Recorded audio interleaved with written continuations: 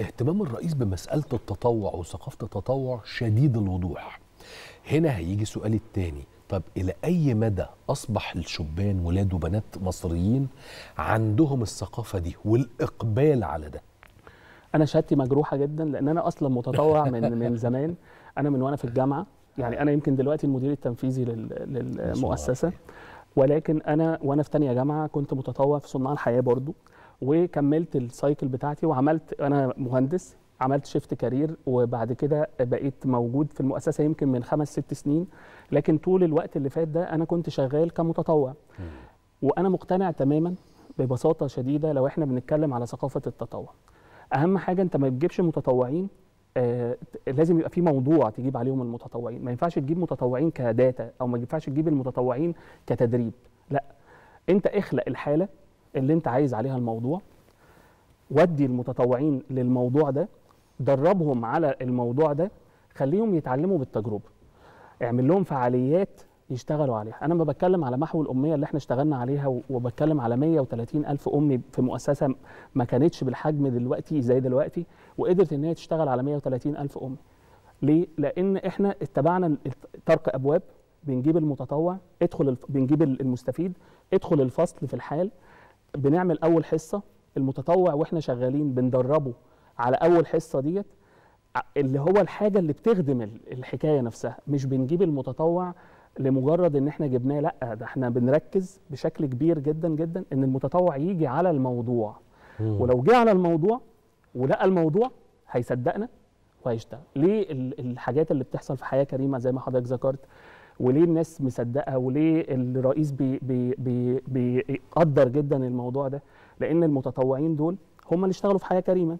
هم آه، آه، سواء في المؤسسات بتاعتنا أو في مؤسسة حياة كريمة أو في مؤسسة صناع الحياة أو كل الجمعيات اللي موجودة في ال ال ال ال اللي شغالة في التحالف الوطني قد إيه إن إن إن الحاجات اللي هم بيعملوها ديت إحنا بنينا 1300 بيت منهم اسقف كان المتطوع بيطلع إحنا بنعتمد برضو فكرة اعمل حاجة بنفسك يعني غير المقاولين وغير الصناعة وغير وغير لأ المتطوع كده لو راح في شغلانة وفضل يدقدق كده بال... على الخشب البسيط اللي هو بيتعمل و... وعمله. ده بيحصل إيه؟ بيحصل إن هو في آخر اليوم التعب ده هو ده المطلوب. هو بالنسبة له حس بالإنجاز. بالظبط. يعني أحلى نومة السقف بعد ما يخلص. يعني حضرتك بعد ما تخلص السقف والدقدقة ويبقى معاك حد مشرف يبقى واخد الس... أنا دايما إحنا الأمان. بتاعنا. السيفتي الخوذة الحاجات بتاعتنا. خلصت. النوم على ال- السقف وجنبك الأسرة المصرية اللي هي اتعمل لها السقف دي أحلى نومة أنا نفسي جربتها أحلى نومة في الحياة.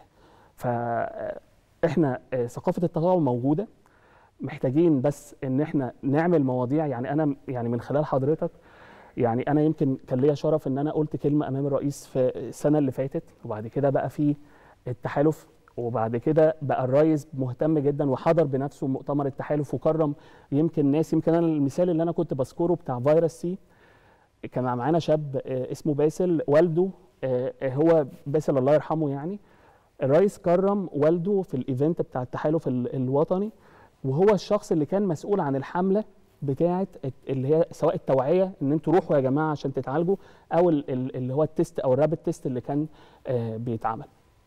فاحنا في في مساحة كبيرة جدا لثقافة التطوع لو خلقنا موضوع وليكن محو الأمية وليكن تنظيم الأسرة وليكن رفع الوعي وليكن ايا موضوع اللي تختاره الدولة اللي إحنا نشتغل عليه ويديهولنا وإحنا مسؤولين إن إحنا نحققه. وإحنا عملنا ده محو أمية هنمحو الأمية. آه، آه، تنظيم الأسرة هنعمل ده ونرفع الوعي. بس يبقى في فاسيلتيز من الدولة وفي إرادة ونوعدكم إحنا إن إحنا هنعمل الموضوع إن شاء الله.